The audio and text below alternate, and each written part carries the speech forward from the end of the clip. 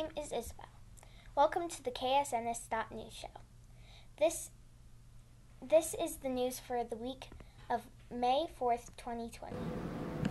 Good morning, Stott Stallions. Thank you so much for doing your part to help us all stay safe.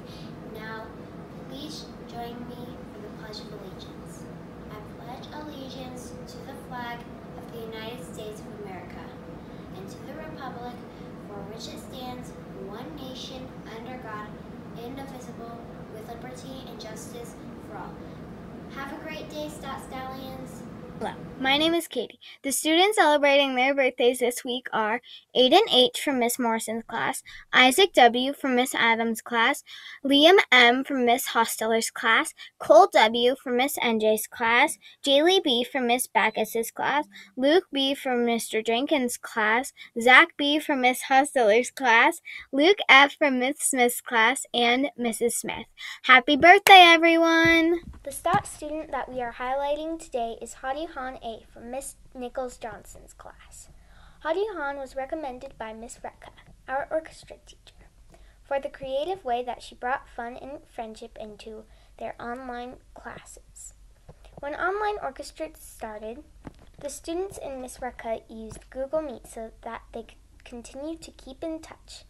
However, they quickly ran out of things to talk about. Hadi Han came up with an idea that they could play a game on her own time. She created a plan to play bingo.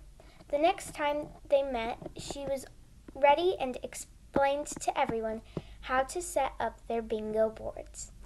And she called the numbers.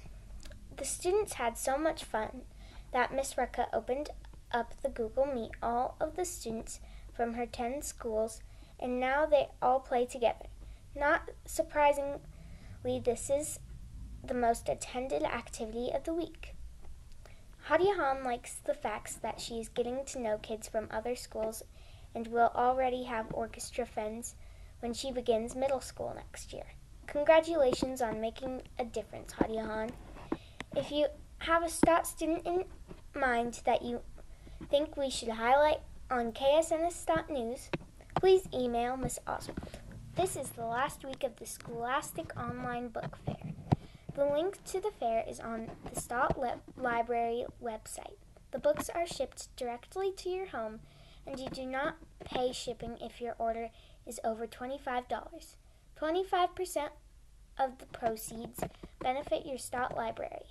The last date to shop is May 10th. Been enjoying our beautiful spring weather? Here is the weather forecast for this week.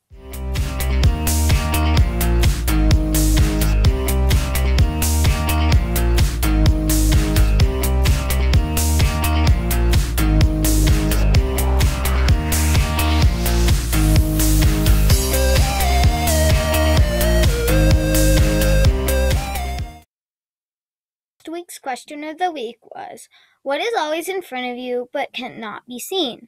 The answer is the future. The winner is Costas C. from Miss Backus's class. Your prize will be mailed to you.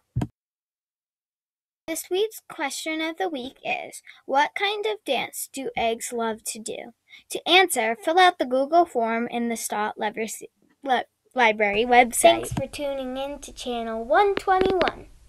For all the news that matters to Stott, make every day count.